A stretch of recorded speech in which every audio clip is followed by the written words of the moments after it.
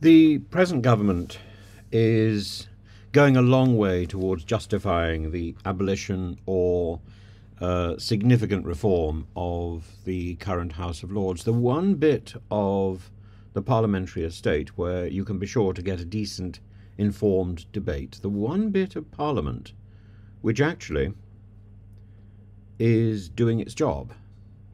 Now, there may be a lot of questions about uh, whether or not it conforms to a modern understanding of democracy, but democracy is a convention, and it's a convention that has been interpreted anyway. When we are talking of democracy, we're not talking about absolute democracy, we're talking about representative democracy. We vote once every four or five years in the hope that the person that we put into the House of Commons will actually represent us. But we have no we have no uh, control over that person once we have submitted our vote. We may write to that person, and I think that that person is honour bound to write back.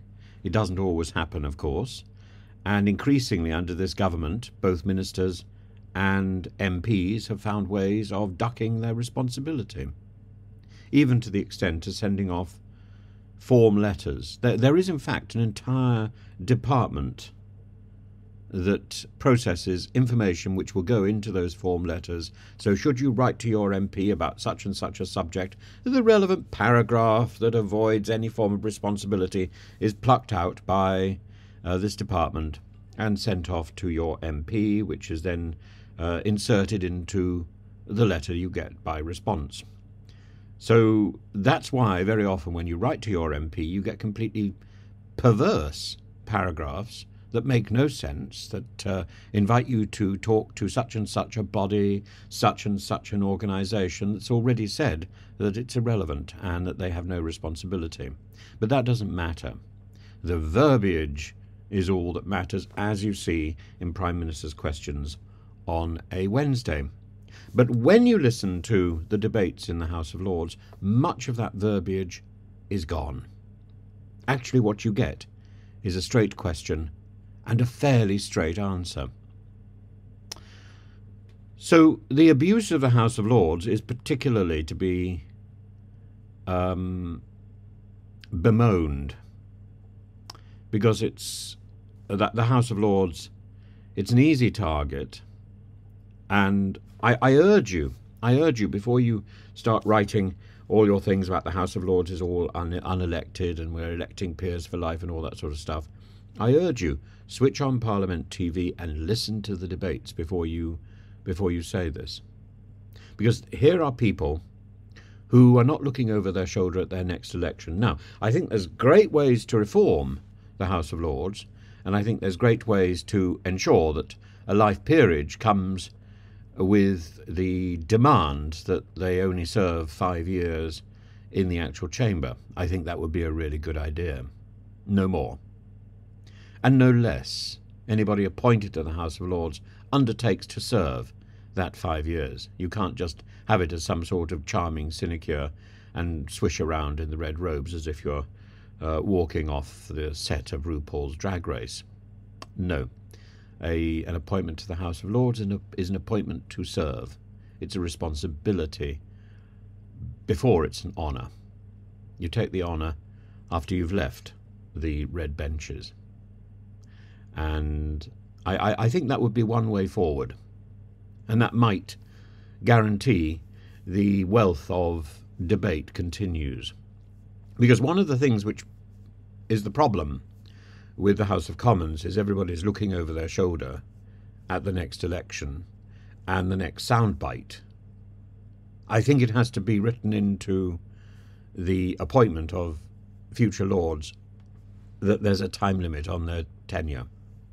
And that time limit, given the fact that lords are appointed uh, over the years, that time limit will, of course, have a revolving door. And I think there will therefore be no, no, no, no limit to the number of lords with interesting backgrounds who are there on hand to attend debates and to contribute prop, uh, positively. I, I also think that the, uh, the, the extraordinary election of the small number of life uh, uh, of um, hereditary peers is is a very charming and worthwhile addition because it again puts pressure on the life peers to do their job and to contribute with the, the extraordinary wealth of experience that they've got to this heightened debate. And so it, it's with that that I that I want to raise the issue, which was raised by Alastair Campbell, uh, of Matthew Elliott. Matthew Elliott is one of the people from Tufton Street, and he's one of the people who's been promoted by Liz Truss into the House of Lords.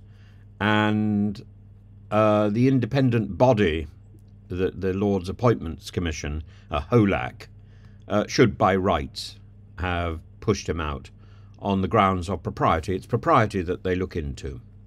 Is it appropriate that this person should be in a lordship's chamber, a peer, an equal?